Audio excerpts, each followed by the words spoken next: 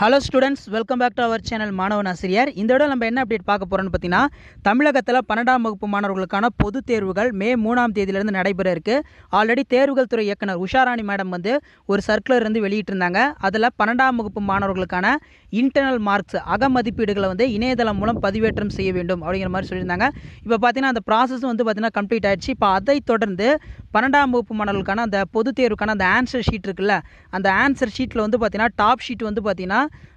வச்சு தைப்பாங்க. அந்த டாப் ஷீட் தயாரிக்கிறதுக்கு வந்து இப்போ தேர்வுகள் துறை இயக்கம் வந்து ஒரு முக்கியமான அறிவிப்பு வந்து கொடுத்துருக்காங்க. அந்த டாப் ஷீட் தயாரிக்கிறதுக்கு ஒரு உத்தரவுமே வந்து கொடுத்துருக்காங்க. இந்த டாப் ஷீட் பொறுத்த வரைக்கும் உங்களுடைய நேமு ரெஜிஸ்டர் நம்பரு என்ன சப்ஜெக்ட்டு டேட்டு அதேமாதிரி இந்த கோடு இந்த மாதிரிலாம் எழுதுவீங்க. சிக்னேச்சர் கீழே வந்து பார்த்தீங்கன்னா அந்த மார்க் போடுவாங்க பார்த்தீங்களா அந்த நம்பர் அந்த மாதிரிலாம் வந்து இருக்கும். ஸோ அந்த ஃப்ரண்ட் பேஜ் வந்து பார்த்தீங்கன்னா தயாரிக்கிறதுக்கு தேர்வுகள் துறை இயக்குனர் உஷாராணி மேடம் வந்து ஒரு உத்தரவு கொடுத்துருக்காங்க. அதன் பிரகாரம் ஆல்ரெடி தேர்வுகள் துறை இயக்குனர் உஷாராணி மேடம் வந்து பள்ளிகளுக்கு ஒரு சர்க்குலர் அறிவிச்சாங்க அதில் அரசு தேர்வுகள் துறை இயக்கம் மேல்நிலை இரண்டாம் ஆண்டு பொதுத் தேர்வு மே ரெண்டாயிரத்தி இருபத்தொன்று மாணவர்களுக்கு வழங்கப்பட்ட அகமதிப்பீட்டிற்கான மதிப்பெண்கள். இன்டர்னல் மார்க்ஸ் வந்து இணையதளம் மூலம் பதிவேற்றம் செய்தல் தொடர்பாக அறிவுரை அப்படிங்கிற மாதிரி மேல்நிலை பள்ளிகளுக்கு ஒரு சர்க்குலர் வந்து அமைச்சிருந்தாங்க. இப்போ இன்டர்னல் மார்க்ஸ் நம்ம எடுத்துக்கிட்டோம்னா தமிழுக்கு வந்து பார்த்தீங்கன்னா தொண்ணூறு மார்க் எக்ஸாமினேஷன் நடத்தினா பத்து இன்டர்னல் கொடுப்பாங்க.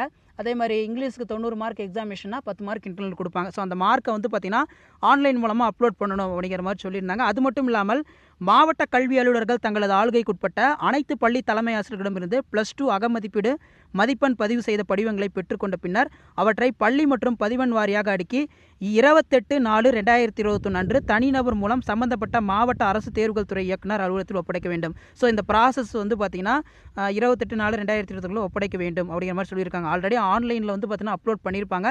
ஸோ இருந்தாலும் பதிவெண் வாரியாக வந்து இருபத்தி நாலு இருபத்தி எட்டு நாலு ரெண்டாயிரத்தி இருபத்தொன்னப்போ ஒப்படைக்கணும் அப்படிங்கிற மாதிரி சொல்லியிருக்காங்க.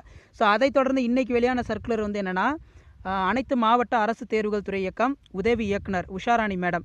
அரசு தேர்வுகள் துறை இயக்கம் சென்னை மேல்நிலை இரண்டாம் ஆண்டு அதாவது ப்ளஸ் டூ பொதுத் தேர்வு மே ரெண்டாயிரத்தி இருபத்தொன்று தேர்வு மையங்களுக்கு முதன்மை விடைத்தாள்கள் மற்றும் முகப்புத்தாள்கள் வழங்குவதற்கான அறிவுரை வழங்குதல். அதாவது அந்த ஃப்ரண்ட் பேஜ் இருக்குல்ல அது. அது மட்டும் இல்லாமல் கீழே நடைபெறவுள்ள மே ரெண்டாயிரத்தி இருபத்தொன்று மேல்நிலை இரண்டாம் ஆண்டு பொதுத் தேர்வு எழுதும் மாணவர்களுக்கு வழங்கப்பட உள்ள முதன்மை விடைத்தாள்களின் வகைகள் மற்றும் வரைக்கட்டத்தால் வரைபடங்கள் ஆகியவற்றை முதன்மை கல்வி விடைத்தாளுடன் வைத்து தைக்க வேண்டிய பக்கங்களின் விவரம் ஆகியவை தேர்வு மையங்களுக்கு வழங்கும் பொருட்டு இத்துடன் இத்திணைப்பு வைக்கப்படுகிறது அப்படிங்கிற மாதிரி சொல்லியிருக்காங்க. இப்போ அந்த மெயின் ஆன்சர் ஷீட்டில் ஃப்ரண்ட் பேஜ் இருக்கும். அதே மாதிரி மேக்ஸ்னு அந்த மாதிரி கிராஃப் இந்த மாதிரிலாம் வச்சு பார்த்தீங்கன்னா தைப்பாங்க. ஸோ அந்த ப்ராசஸ் டாப் ஷீட் வந்து தயாரிக்கிறதுக்கான ப்ராசஸ் வந்து ஸ்டார்ட் பண்ணுங்க அப்படிங்கிற மாதிரி சொல்லியிருக்காங்க.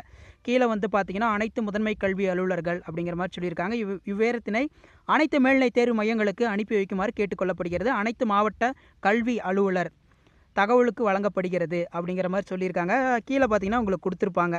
மொழி பாடங்களுக்கு லாங்குவேஜ் மற்றும் இங்கிலீஷ் ஹச்எஸ்சி லாங்குவேஜ் என்று குறிப்பிடப்பட்டுள்ள முப்பது பக்கங்கள் கொண்ட புள்ளியிடப்பட்ட கோடிட்ட முதன்மை விடைத்தாள்களை தேர்வர்களுக்கு வழங்க வேண்டும்.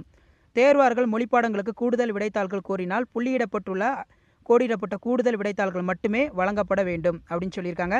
உயிரியல் பாடத்தை பொறுத்தவரையில் உயிரி தாவரவியல் மற்றும் உயிரி விலங்கியல் என ஒவ்வொன்றிற்கும் தனித்தனியாக இரண்டு முதன்மை விடைத்தாள்கள் வழங்கப்படும். இப்போ பயாலஜி எக்ஸாம் அப்படின்னு நம்ம எடுத்துக்கிட்டோம்னா ப்ளஸ் டூக்கான பயாலஜி எக்ஸாம் ஒரே ஷீட்டாக வந்து கொடுக்க மாட்டாங்க. தனித்தனியாக பாட்னிக்கு தனியாக ஜுவாலஜிக்கு தனியான்னு சொல்லி உங்களுக்கு வந்து ஆன்சர் ஷீட் வந்து கொடுப்பாங்க.